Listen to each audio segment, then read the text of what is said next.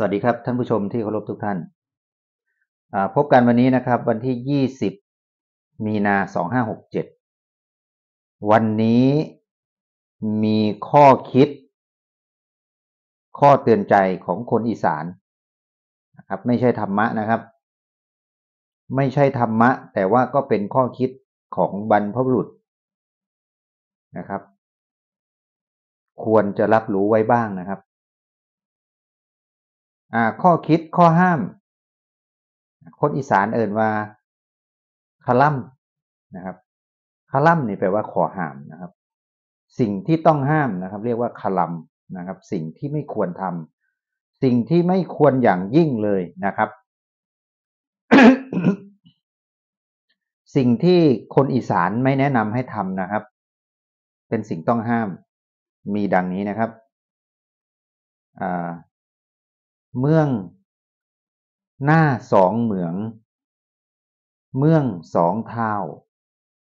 เท่าสองเขยนะครับ เพิ่นบอกว่าบ่ให้เฮ็ดบ่ให้มีถ้าผู้ใดมีผู้ใดเฮ็ดก็ให้เลิกนะครับอ่าขอห้ามพวกนี้มีผลกระทบต่อชีวิตนะครับ มีผลกระทบต่อชีวิตแน่นอนเลยนะครับ เดี๋ยวเข้ามาเจาะรายละเอียดนะครับว่า หน้าสองเหมือง เมืองสองเท้าเท่าสองเขย เป็นยังยังเป็นสิ่งที่ต้องห้ามนะครับท่านผู้ชม เข้าใจคำว่าหน้าสองเหมืองนะครับ เข้าใจว่าครับหน้าสองเหมืองก็คือห้องเหมืองนะครับอีสานบางคนบอกว่าห้องเหมียงนะครับ ห้องเหมียงนะครับ ห้องเหมืองนะครับ หรือสีแปลให้เป็นภาคกลางก็คือคล้องใส่ไก่ หรือว่าคล้องระบายน้ำนั่นเองคล้องทรงน้ำนั่นเองนะครับ มันสิเป็นปั่นคันแท้สองขัน ติดติดกันนะครับ ปั่นคันแท้สองขันติดติดกันประมาณเมตร เมตรกลัวๆนะครับ ประมาณเมตรห้าสิบหรือประมาณเมตรยี่สิบเล่าๆนี่นะความความกว้างนะครับ เพื่อสูบน้ำเข้าหน้า พื่อระบายน้ำออกหน้านะครับเอินว่าห้องเหมือง ห้องเหมียงนะครับ ห้องเหมือง หรือว่าท่อส่งน้ำคนโบราณอีสานบอกว่าบ่ให้เฮ็ดสองบ่ให้เฮ็ดสองห้องเหมือง หรือว่าบ่ให้เฮ็ดคลองทรงน้ำสองคลองในหน้าเดียวนะครับเฮ็ดอันเดียวเฮ็ดเง่าบ่เป็นหยังแต่ว่าบ่ให้เฮ็ดสองอันนะครับ อันแรกนะครับ หน้าสองเหมือง หามนะครับ เดี๋ยวผมอธิบายไว้ว่า มันเป็นยังคือหาม เมืองสองเท้านะครับท่านผู้ชมเข้าใจว่าครับคำว่าเมืองสองเท้าเมืองสองเท้าก็คือ เมืองที่มีเจ้าเมืองสองคนครับหรือว่ามีนายกรัฐมนตรีสองคนอะไรประมาณนั้นนะครับอ่าหน้าหน้าสองเหมืองหาม เมืองสองเท้ากับหามนะครับอ่าคือว่า เมืองนั้นมีพญาสองคนนะครับ หรือว่ามีเจ้าเมืองสองคนนั่นแหละ หรือว่ามีพระมหากษัตริย์สององค์ หรือเหมือนอทูสูสีไทยเฮาอย่างเงี้ยนะเหมือนว่าอ่ามีพระมหากษัตริย์องค์เล็กนะเป็นเป็นองค์เล็กแล้วก็สูสีไทยเฮาก็บริหารราชการแทนเป็นผู้สำเร็จราชการแทนอย่างนั้นนะ อย่างนั้นจะเกิดความวุ่นวายนะครับ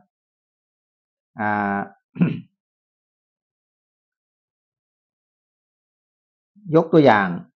อย่างบางประเทศเขามีนายกรัฐมนตรีสองคนนะครับ บางคนนายกคนที่หนึ่งนายกคนที่สองนั้น ไม่ได้นะครับ เกิดภัยพิบัติเกิด เกิดความปั่นป่วน เกิดความโกลาหลเกิดการแย่งชิงอำนาจ เกิดการ คือแตกแยกแน่นอนนะครับ อันนี้ก็คือว่าเมืองสองเท่าก็มีความหมายว่า ไม่ใช่ว่าเมืองนั้นจะมีพญาสองคนหรือพระมหากษัตริย์สองคนนะร่วมถึงนะครับร่วมถึงพระมหากษัตริย์สองคนสองพระองค์ หรือว่าผู้ว่าราชการสองคน นายกสองคนบ่ได้นะครับจะเกิดความหมุนไหวอ่าเท่าสองเคยบ่เนี่ยนะครับ คำว่าเท่าสองเขยนี่มันมีความหมายว่าบ่ให้เขยสองเขยอยู่ในบ้านหลังเดียวกันนะครับบ่แม่นว่าหานมีสองเขยบ่แม่นจังซั่นนะครับ มีได้แต่ว่าสองเขยสามเขยก็บ่เป็นหยังแต่ว่าย่าให้อยู่ในหลังเดียวกัน ถ้ามีคนที่หนึ่งก็แล้วไปถ้าคนที่สองมากก็ให้คนที่หนึ่งออกเฮียนแยกครอบครัวแยกบ้านไปอยู่ อีกหลังหนึ่งนะครับเดี๋ยวเราเดี๋ยวเรามาเจาะลึก หน้าสองเหมืองก็คือบ่อยเฮ็ดคล้องใส่ไก่บ่อยเฮ็ดคล้องทรงน้ำสองคล้องนะครับข้อแรกหนึ่งมันเปลืองพื้นที่นะครับเปลืองพื้นที่ที่สิทำหน้านะครับ อันแรกเลยนะเปลืองพื้นที่บ่มีความจำเป็นที่สิเฮ็ดสองอันนะครับ อ่าถ้าเฮ็ดสองอันแล้วก็ อ่า การทรงน้ำมันสิบ่มีแรงดัน มันสิมีมันสิมีความลังเลนะบ่มีแรงดันนะครับ แต่ถ้าเฮาเฮ็ดคล้องทรงน้ำอันเดียวนะครับอ่ามันสิมีแรงดัน มันสิมี มันสิบ่เกิดความลังเลดันเข้าทางเดียวแล้วก็บังคับให้ไปทิศทางใดก็ได้นะครับ เพราะฉะนั้นเพิ่นถึงให้แนะนำเฮ็ดเหมืองเหมืองเดียว หรือว่าคล้องทรงน้ำคล้องเดียวในหนึ่งหน้านะครับ ตัวนี้บ่บ่เป็นอย่างบ่บ่หนามีปัญหา เพราะว่ามันอาจสิเป็นอ่าคำเว้าคล้องจอง หรือว่าคำสอยที่เพิ่นตั้งขึ้นมาเพื่อให้มันคล้องจองกับคำว่าเมืองสองเท่าแล้วเท่าสองเคยนี่ก็ได้นะครับ เมืองสองเท่านี่ต้องหามแน่นอนครับว่าเป็นผลดีแก่อาณาประชาราชว่าเป็นผลผลดีแก่อ่าประชาชนนะครับยังเห็นว่านายกรัฐมนตรีคนที่หนึ่ง นายกรัฐมนตรีคนที่สองเคยได้ยินไหมครับ มีนะครับ ที่บางประเทศมีนะครับอ่าหรือว่า ในสมัยโบราณ พระมหากษัตริย์ มันก็ไม่ใช่มีสององค์หรอก แต่มันเหมือนว่า มันมีองค์ที่มีบารมีอยู่เบื้องหลัง เป็นผู้ชักใย่ผู้บงการอยู่ข้างหลังนะครับ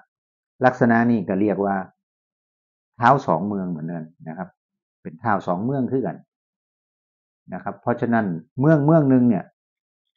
ควรมีผู้นำคนเดียวเบ็ดเซตเด็ดขาดนะครับบ่ให้มีอ่าแบ่งแยกบ่ให้มีผู้ที่มีกำลังคุ้มทหารหลายกว่ากันบ่มีบ่ให้มีผู้มีบารมีทับซ้อนอยู่นะครับ มันสิเกิดความแตกแยกเกิดความวุ่นวายอ่าพวกทหารพวกอำมาตย์นี่ก็สิ แบ่งฝักแบ่งฝ่ายนะครับ แย่งอำนาจ กันแกงชิ่งดีชิ่งเด่น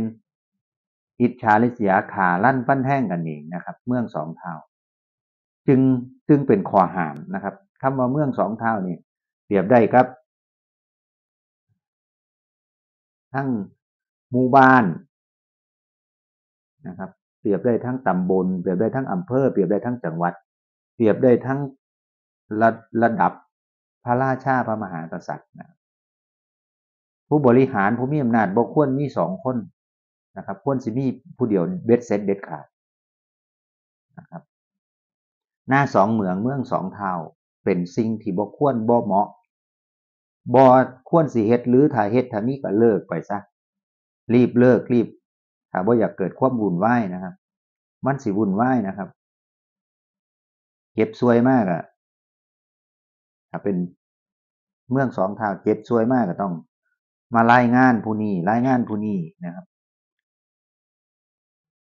มีขาซึกก็อาจสิร่วมมือกับขาซึก เป็นไซซึกร่วมมือกับขาซึกให้ไซซึก โจมตีแล้วก็ตัวเองก็สิขึ้นเป็นไงสุดท้ายก็แพ้ทั้งสองคนจังซี่นะครับคือเมืองสองเท่านะครับ ที่นี่เท่าสองเคยป่ะนี่นะครับเท่าสองเคยนี่หามเด็ดขาดเลยหามอายุน้ากันครับ เป็นข้อหาม คือคนโบราณนี่ยเขาเข้าใจพฤติกรรมของมนุษย์นะครับว่า มนุษย์นี่เป็นคนที่มีความอิจฉาริษยา ชิ่งดีชิ่งเด่นเห็นคนอื่นดีกว่าบ่ได้นะครับ เห็นคนอื่นดี ดีกว่านี่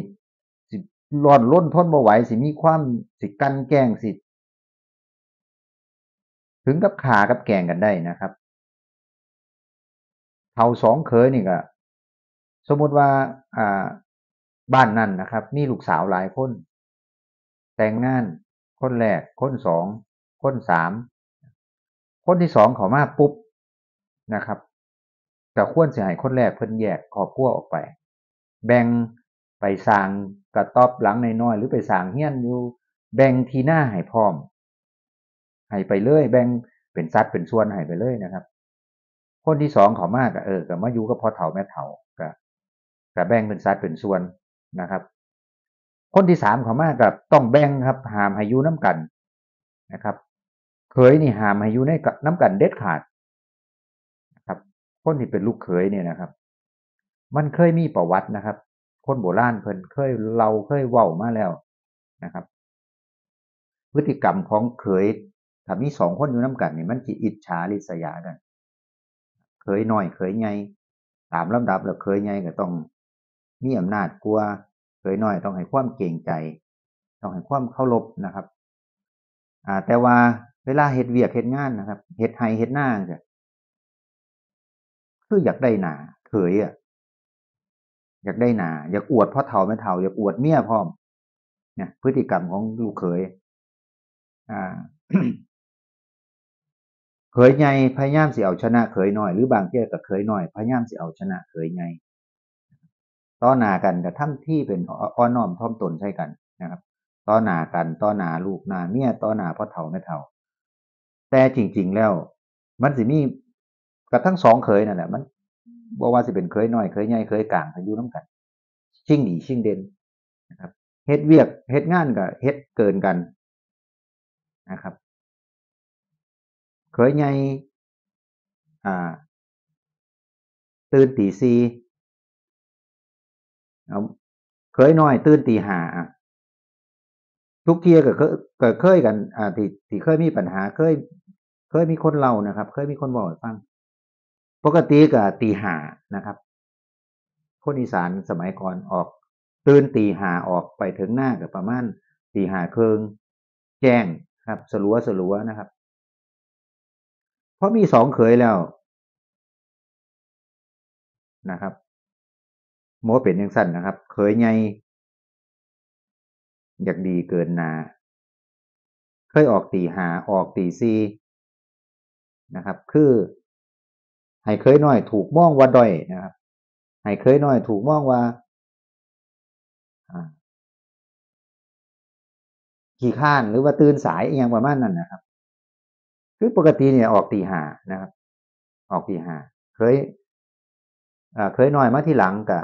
หามาอยู่บ้านหลังเดียวกันก็ก็ออกตีหาออกตีหาไปน้ากันเนี่ยนะครับ เวลาเฮ็ดงานก็คล้ายๆกับว่า แย่งกัน แย่งกันเฮ็ด อยากเอาความดีความชอบ ให้เมียเห็นให้พ่อเฒ่าแม่เฒ่าเห็นนะครับ ความคิดพวกนี้สิเกิดขึ้นในใน ในหัวคิดของลูกเขยทุกคน เกือบทุกคนนะครับ เกือบทุกคนเลยนะครับ ก็บ่ได้บ่ได้มีความหมายคำว่าลูกเขยนะมันลูกสะใภ้ก็คือกันนะครับรวมถึงลูกสะใภ้นะแต่ว่ากรณีนี้เพิ่นเพิ่นสิยกคำว่าเขยซื่อๆนะครับ แต่ว่าลูกสะใภ้นี่ก็คือกันนะครับบ่ควรมีในบ้านหลังเดียวกัน ถ้ามีก็ให้แยกไปซะนะครับอ่าอ่าเดี๋ยวผมอ่าเล่าถึงพฤติกรรมของลูกเขยของในสมัยโบราณที่มีคนเล่าให้ผมฟังนะครับ เคยไปตีหาลูกเขยเคยไงพ่อเฒ่าแม่เฒ่าก็รับรู้ว่าเคยไปตีหาปกติ ตื่นตีหาออกบ้านไปถึงหน้ากับประมาณตีหาเครื่องหรือเกือบเกือบหกโมงสลัวสลัวนะครับพอท่านแจ้งสลัวสลัวกับพ่อได้มองเห็นเอียงแล้วนะครับเหตุเหตุการณ์เหตุงานได้แล้วนะครับเพราะมีเขยใหม่มากนะครับ เขยใหม่มาก เพิ่นอยากแสดงกล้ามดากที่เพิ่นอยากเก๋าอะ อยากโชว์ว่าตัวเองเก่งกว่าขยันกว่า ตื่นตีซีบาทนี่นะครับเคยตื่นตีหากับตื่นตีซีไปแต่เศร้าเลยไปก่อนเคยเคยน้อยก็ ทุกเที่ยก็คือไปตีหาตื่นตีหาพร้อมกัน เสียงต่อเขากล้วยดังโป๊กโป๊กก็คือยังอ่า ไปไล่ๆกันนะครับ ที่นี่ตื่นตีซีเลยนะครับ ตื่นแต่เศร้าต่อขอกล้วยดังโป๊กโป๊ก โอ้พอเฒ่าก็ฮู้ว่าโอ้บักนี้มันคือไปต่เช้าแต่คือมือมือนี้มันเป็นอีหยังคือไปต่เช้าแต่ไก่หัวตะขันปลายมีไก่ขันกกไก่ขันปลายนะตอกคอกข้วยออกไป จูงข้วยออกไปก่อนเลยไล่ข้วยออกไปก่อนนะครับเคยน้อยก็ตีหาแล้วได้เวลาเกาตีหาเมียลูกหนึ่งเขาปุผัวเคยน้อยก็ลูกออกไป ตามเคยไงไปเฮ็ดแบบนี้อยู่หลายมือนะครับบานี้ก็เคยน้อยกับปั๊บโตนะครับ เคยเคยน้อยปั๊บโตก็ตื่นตีซีไปพร้อมกันบันนะครับตื่นตีซีไปพร้อมกันอ่าตื่นตีซีไปพร้อมกันอยู่หลายมือนะครับ หลายมือหลายอาทิตย์นะเคยไงตื่นไปตีสามเลยบาทนี้ วันต่อมาอ่าหลายอาทิตย์ต่อมาเดือนต่อมาเนี่ย ตื่นไปแมงตีสามเลยนะครับ เพราะความคิดริษยาอยากได้ดีนะครับ อยากดีเกินหนานะครับ ตื่นไปตีสามเลยเคยหน้อยก็มั่วเงี้ยครับ โอ้ยยังไปตื่นไปถ้าตีสามนะครับ ตื่นไปตีสามจากตีห้ามันขยับเป็นตีสี่จากตีสี่มันขยับไปตีสาม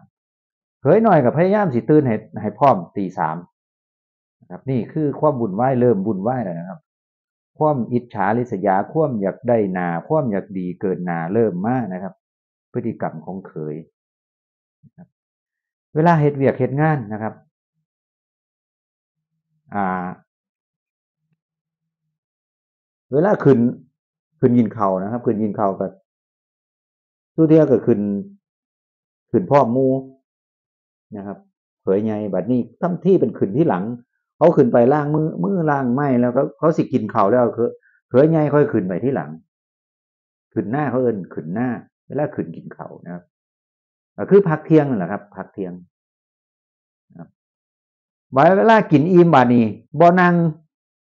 ลงกรเขาอีกเขยไงอะไปล่างมืออยู่ไฮหน้าไปล้างมืออยู่ น้ำไฮหน้าเลย กินข่าวกินน้ำเรียบร้อยแล้วลงเลยบ่นั่งพักมันอะไรเนี่ย คือพฤติกรรมของของลูกเขย มันสิเป็นยังซี่นะครับถ้าให้ลูกเขยอยู่น้ากันครับเกิดความบุญไหวเวลาเฮ็ดเบียกกับพระย่ามคือทุกสิ่งทุกอย่างบ่บ่บ่บ่ร่วมตาบ่ร่วมตาอ่าการตื่นนอนการเฮ็ดเวียกเฮ็ดงานนะครับ ทุกอย่างเลยสิมีการแข่งขันเกิดขึ้นที่ต้องเฮ็ดดีกว่า ที่ต้องเฮ็ดเอาหนาเฮ็ดให้หลายกว่ามุ่นมั่งถ้าแบ่งบ่ทอกัน แบ่งบ่ยุติธรรมก็ก็มีปัญหานะครับนะครับนี่เพิ่นถึงหามไว้ว่าเท่าสองเขย เป็นคอหามนะครับ เป็นอ่าผู้บัญญาของบรรพบุรุษที่เพิ่นตั้ง เป็นคอหามขอคาล่ำไว้นะครับ มันบดีนะครับ มันสิมีความบุญไหวชิบหายนะครับ ถ้าผู้ใดเฮ็ดแบบนี้นะครับ เพิ่นถึงบอกว่าบ่ให้เฮ็ดบ่ให้บ่ควรเฮ็ดควรแก้ไขนะครับ หน้าสองเหมือง เมืองสองเท้าเผาสองเคยนะครับอย่าเฮ็ดอย่าทำผู้ใดเฮ็ดผู้ใดทำก็รีบแก้ไขซะนะครับเพิ่นสั่นความบุญไหว้มันสิตามมานะครับนี่ก็คืออ่าคอคิดดีๆ ของคนอีสานของคนอีสานโบราณบรรพบุรุษผ้าเว้าผ้าวานะครับนำมาเสนอท่านผู้ชม คลิปหนาถ้ามีอย่างดีๆ เดี๋ยวสินำเสนออีกครับ หรือว่าผู้ใดมีคอมเมนต์นะครับคอมเมนต์ที่บอกว่าลักษณะสองเขยที่อยู่บ้านหลังเดียวกันที่มีการแก่งแย่งชิงดีกันนะครับก็มาคอมเมนต์ได้นะครับ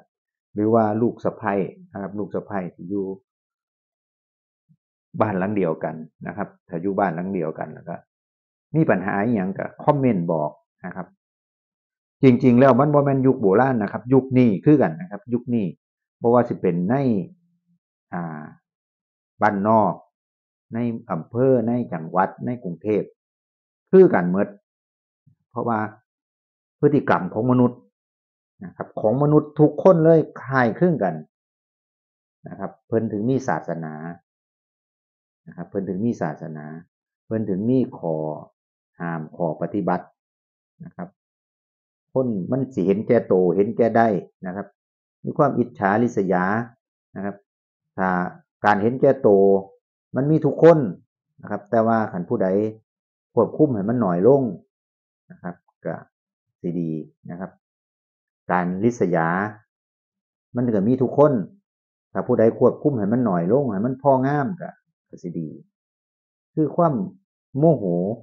นะครับ ความโกรธความโมโหนี่นะครับ ความโกรธความโมโหเนี่ย มันก็มีทุกคนในมนุษย์นะครับ มนุษย์ทุกคนมีคือกันหมดบ่ว่าเผ่าพันธุ์ไหนบ่ว่าสิเป็นอ่าเอเชียตะวันตกตะวันออกยุโรปนะครับคือกันหมดนะครับ แต่ว่าเขาควบคุมอารมณ์ด้านนั้นได้ให้มันมีหน่อยที่สุดนะครับ โอเคครับ คลิปนี้แค่นี้ก่อนพบกันใหม่คลิปหน้าสวัสดีครับ